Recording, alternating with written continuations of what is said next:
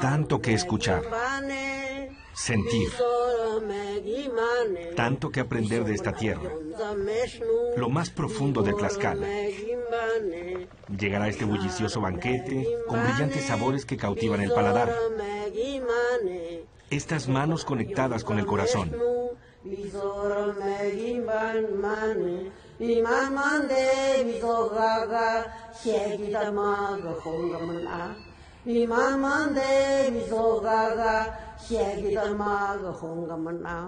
La puerta de entrada a una realidad poco explorada. Tlaxcala y su vibrante esencia indígena custodiada por este colosal entorno de titanes.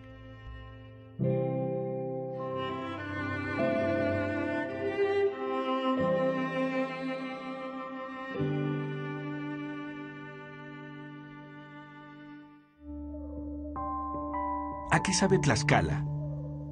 ¿Qué energía poderosa desprende? Ellos están aquí para develar esa historia y reivindicarla.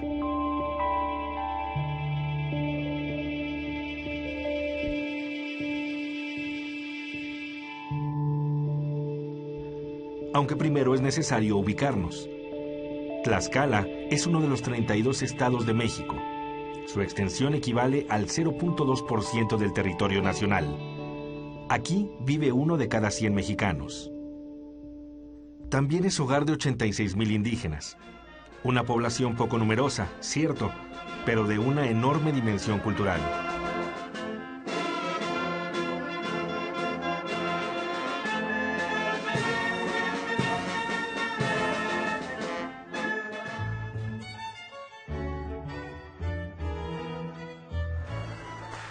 En esta plaza, en el primer reencuentro de barrios, comunidades y pueblos indígenas.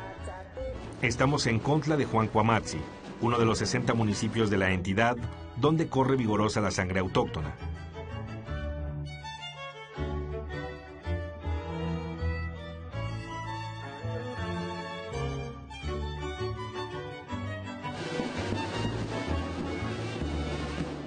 Nos seduce de inmediato el aroma de la sección gastronómica. Exquisitas recetas sabor a milpa, servidas en platos y tarros de barro.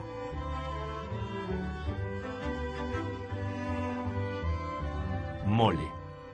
Humeantes caldos que integran calabazas, huitlacoche, quelites, habas y otras semillas. Un aprovechamiento ingenioso del maíz y sus tonalidades tortillas hechas a mano, galletas, refrescante espuma de cacao de Zacatelco,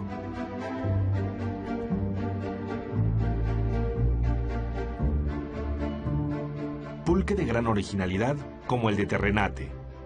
Tienen uno salado a base de chile seco. Secretos culinarios transmitidos en náhuatl y otomí. Ay, cosas, no medicinas, pero ahorita ni mococo juanam nicchiwa, nicchiwa no jarabe para andatashiste. Yo puedo hacer el chilocle con chile seco, con hierba dulce, con sal. Y ya este, puedo curar también de huesos, de estirones, de todo eso. Y también soy partera. Maíces dulces, golosinas de San Luis Teolocholco. Lo tostamos en el comal y luego ya le echamos en el, cuando ya se tostó, se echan la cazuela con azúcar o piloncillo. Preparaciones para toda ocasión, incluso para ceremonias. Es comida que honra a la memoria. La mayoría de los ingredientes son cosas que cultivamos, como el haba, el chilacayote, el ayocote. Entonces, pues es del campo. Traemos, por ejemplo, ahorita ayocote con pescado, que es una, un este, platillo que se da solamente cada año, lo dan los fiscales a todo el pueblo. Es como el remojo, ¿no? Y el ayocote es algo que cultivamos. Son como frijoles grandotes. Pues el sonido de la chirimía de, de madera, pues como que parece único, ¿verdad? Se siente, ¿no? Una probadita a la poderosa herencia de Tlaxcala, también presente en las artesanías, en la música, en la gente.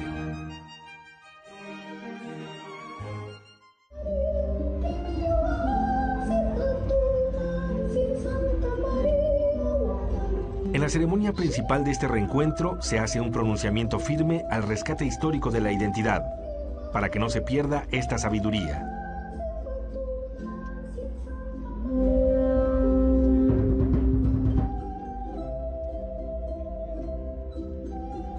A 500 años de haber sido divididos, nos volvemos a reencontrar los pueblos originarios de Tlaxcala, los barrios y comunidades indígenas. Muchas gracias.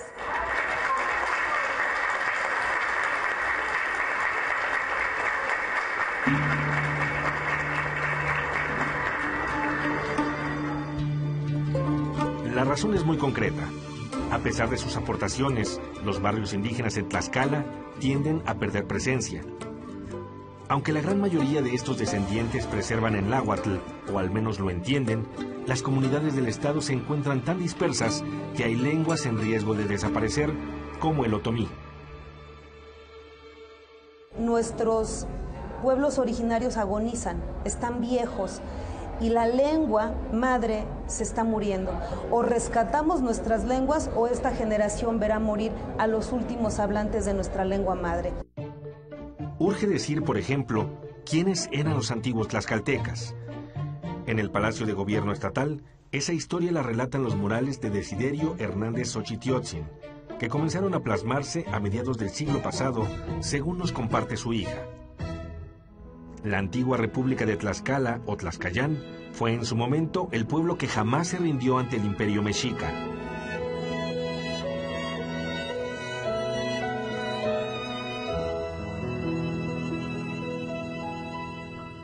Él este, pintó esos murales en 50 años. Hizo un trabajo de investigación etnográfica, histórica, de fuentes, de recuperación de fuentes. Y durante 50 años él estuvo construyendo un discurso como intelectual al que le llamó la clascaltequidad. ¿Qué quiere decir esta palabra adjetivada, no? Quiere decir la gran capacidad que el pueblo tlaxcalteca tuvo 200 años antes de la llegada de los españoles para sobrevivir. Se plasmó así la historia de Tlaxcayán y sus cuatro grandes señoríos, asentados en las faldas del volcán Matlalcuelle o La Malinche. Ese aguerrido pueblo se midió siempre cara a cara con la gran Tenochtitlan. Nunca pagó tributo. Por ello, cuando llegaron los españoles al Nuevo Mundo, decidieron aliarse con los tlaxcaltecas. Esa fue la clave para consumar la conquista. Tlaxcala se convirtió así en cuna de la nación. En el mundo de Tlaxcala había tiashcas, mujeres.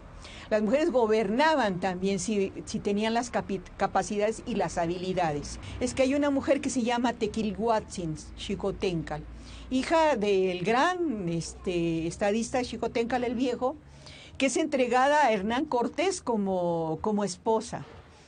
Y ella se la entrega a su vez al Pedro de Alvarado. Es una gobernante. Le abre camino hasta llegar a Guatemala. Y Tequihuacin junto con Pedro de Alvarado son los fundadores de la antigua este, ciudad de Guatemala. Una de nuestras grandes culturas, poderosa, aguerrida y que inspira a sus herederos a rescatar ese orgullo. Y en ningún libro de texto de Tlaxcala está la reivindicación histórica de los pueblos que peleamos, barrios, comunidades, pueblos de Tlaxcala que se sumaron a la lucha con los españoles. Tlaxcala es un pueblo extraordinariamente heroico, es un pueblo extraordinariamente rebelde, valiente, trabajador, digno y nuestra raíz indígena es la que nos nutre, que es incluso un motivo de orgullo, el inconquistable pueblo de Tlaxcala. Es algo que trasciende los murales y las ruinas arqueológicas. Está en las calles, en los barrios. Da vida a diversos talleres.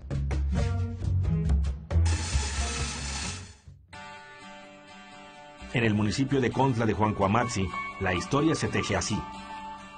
En espacios de trabajo como el de Don Sebastián. A sus 83 años, ha pasado por diversos oficios, pero la vida lo ha llevado a mantenerse fiel a su origen. Contla es tierra fértil de tejedores.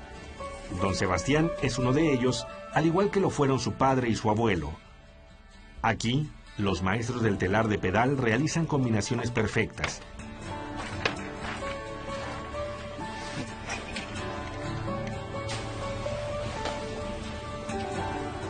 Una coreografía en la que intervienen el pie, la lanzadera de chicote y continuos golpes de caja.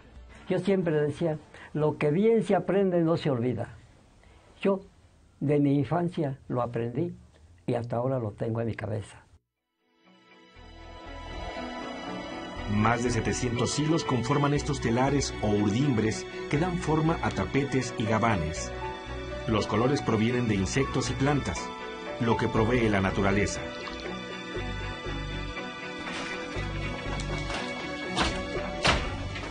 Los coloridos, los teñidos. Los teñidos aquí están, que es totalmente con pigmentos. Esto estoy sacando con la grana cochinilla. El original, primitivo, su color de la grana cochinilla es rojo. Pero del rojo, grana cochinilla, podemos sacar guinda, podemos sacar este naranjo y otros colores más de acuerdo con los, las sombras que nosotros llamamos. Este está, está teñido con las hierbas, con las hierbas de, de la nuez, pero el navideño, el chiquito, el, la nuez de monte, que me lo traen de Hidalgo, ¿sí? Y de esto tiene una pizquita de grana cochinilla, por eso es que tiene un color rosadito, ¿sí? Lo que distingue a don Sebastián son los diseños especiales que le han solicitado algunos de sus clientes.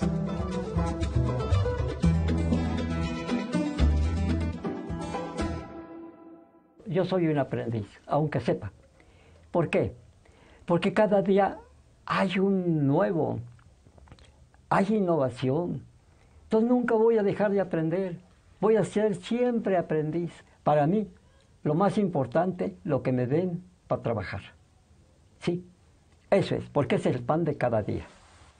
Del cual piezas especiales, eh, lo he dicho, me tocó hacer hace van cuatro años, el escudo de la Universidad Harvard de Nueva York. Me tocó hacer el escudo de la religión prehispánica. Nuestra religión prehispánica sigue vigente, del cual hice cuatro gabanes para cuatro estados de la República.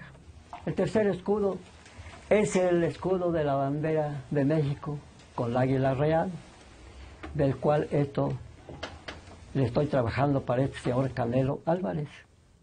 Y este es el tejido del águila, que es el que me ha dado más trabajo, que me ha sacado canas verdes, pero ya está.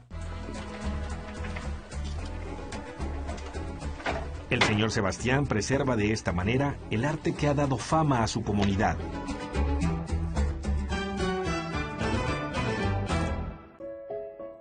El conocimiento indígena de Tlaxcala también da forma a artesanías dinámicas que moldean el espíritu y dejan huella. Estamos en el taller del señor Prisciliano, en el municipio de San Pablo del Monte, donde se fomenta la talavera, arte del viejo mundo enriquecido con la visión local. Puede ser colorido, pero sin duda se distingue generalmente por sus trazos voluminosos en forma de pluma y este intenso azul cobalto y una, este, hay una denominación de origen, de origen ya aquí en México, que la denominación de origen, el dueño de esta denominación es el pueblo mexicano, el país. Pero es cada día que el artesano produce una pieza, es una pieza única, ¿sí? aunque parezca similar o parecido a un diseño, pero como están hechos de uno en uno y están hechos a manos, entonces se consideran como una pieza única y todos los días los artes, el artesano su estado de ánimo, como venga, con las ganas.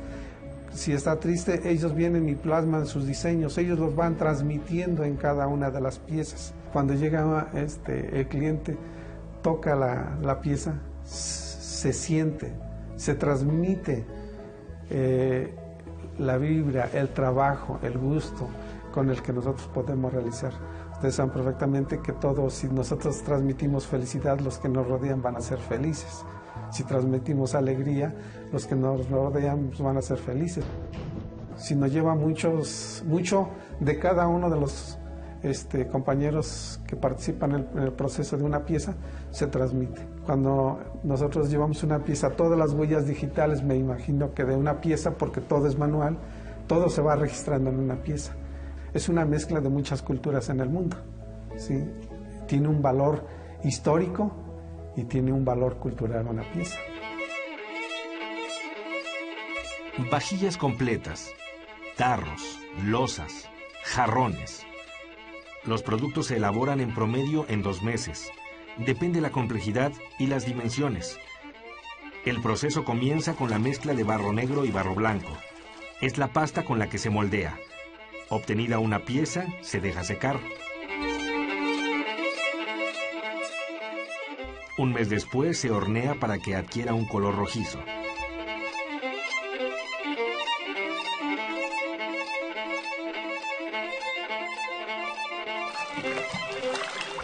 Después se recubre con un esmalte de plomo, estaño y arenilla sílica. Se pinta y nuevamente se hornea. Cada paso debe ser preciso.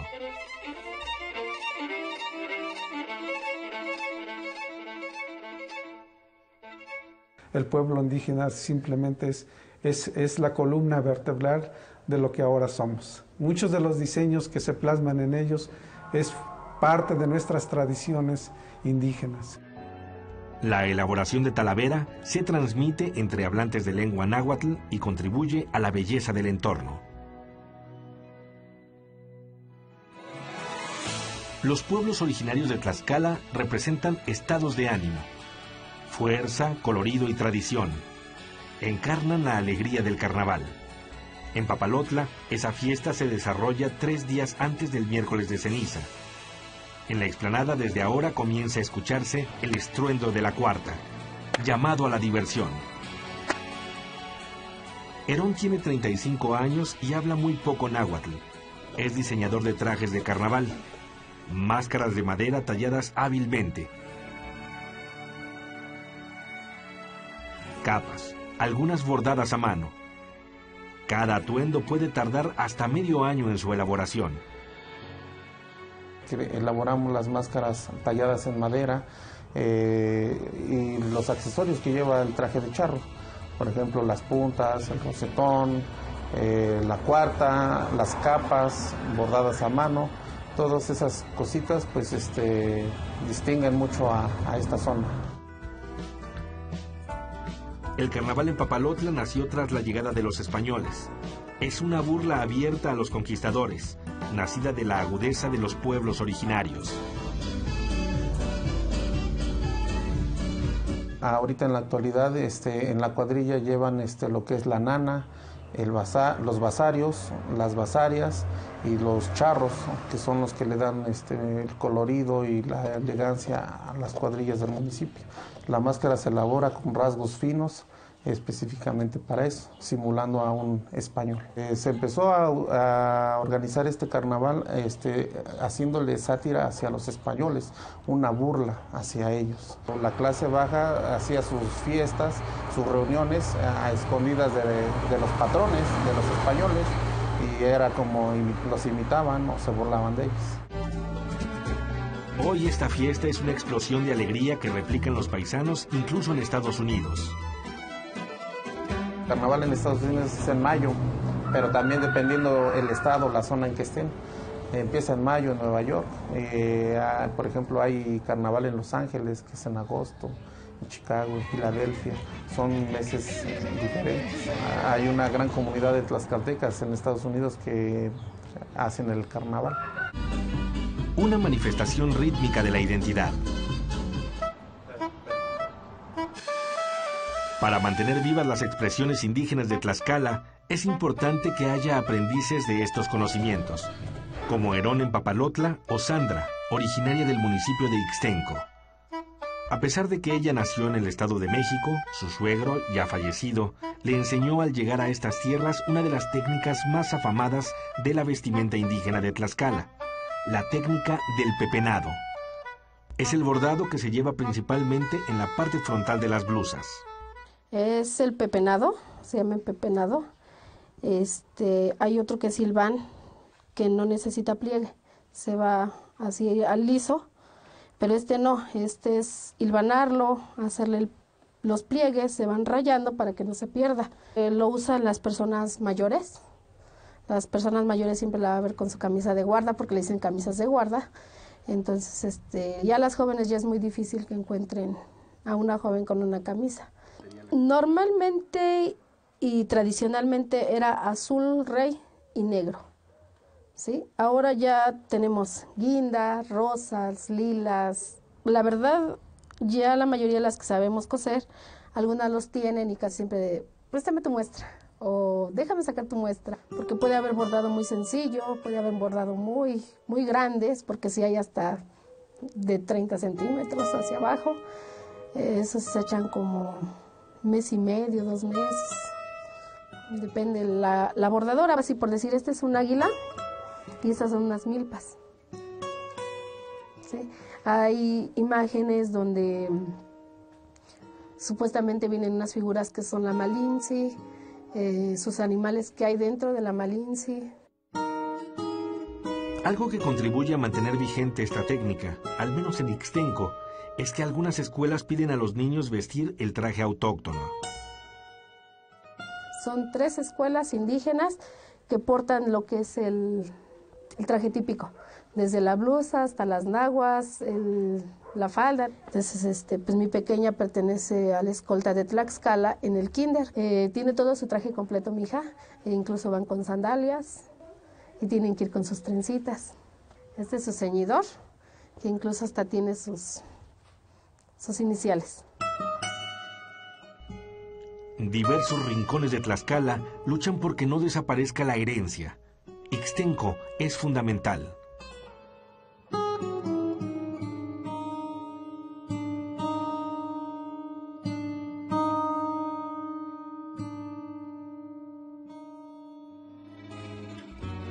Este municipio es el único de la entidad que conserva hablantes de otomí. Han calculado cerca de 500, pero están tan dispersos que difícilmente se comunican entre ellos. Son personas mayores como Doña Esperanza.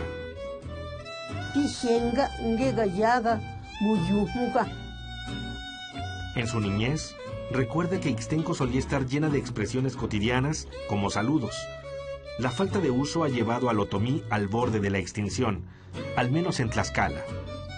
Pues yo desde que, crecí mis padres hablaban puro otomí. También español hablaban.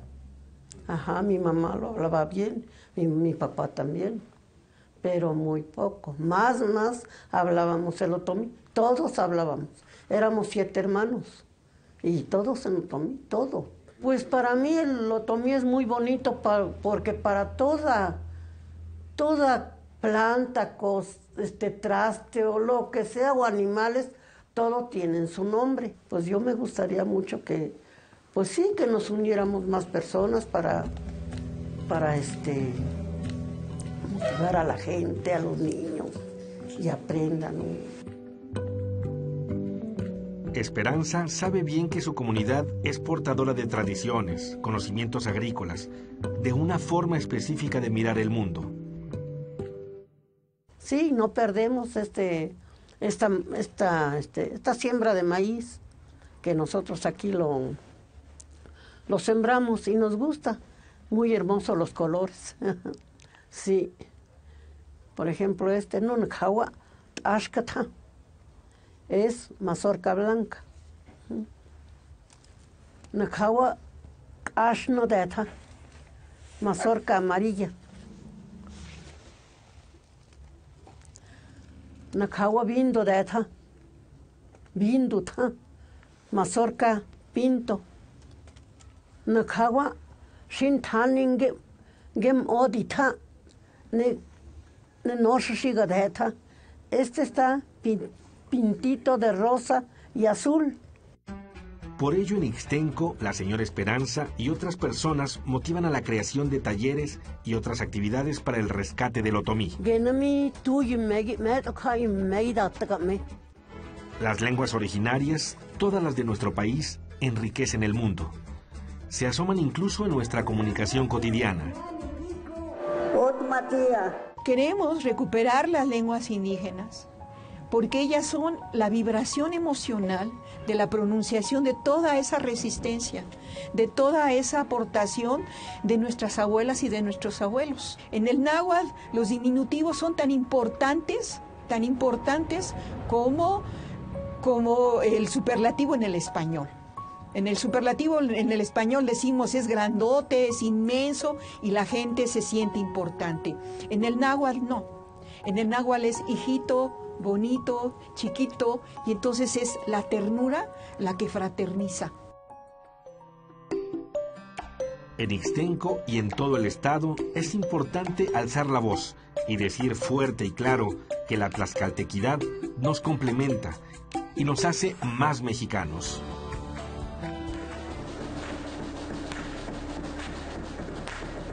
Los pueblos originarios son una aportación a la posmodernidad. Hemos lastimado la tierra, pero podemos regresar al conocimiento, a los saberes del campo, de los campesinos, de las parteras, de las señoras que cultivan la tierra, que manejan la herbolaria. Y México tiene una gran riqueza cultural en sus pueblos originales. Eso.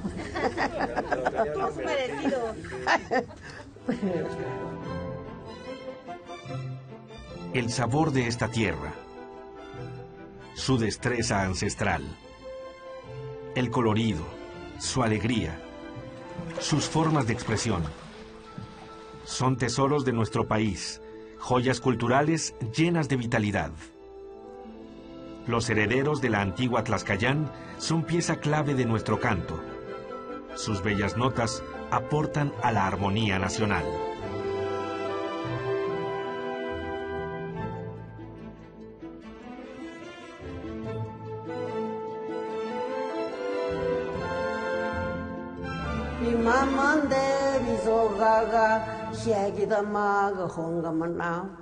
Se fue el compadrito, dejó a la comadrita, le dejó un burro flaco, dejó a la comadrita. Se fue ayer y me dejó, déjalo ir, me buscaré otro. Se fue ayer y me dejó.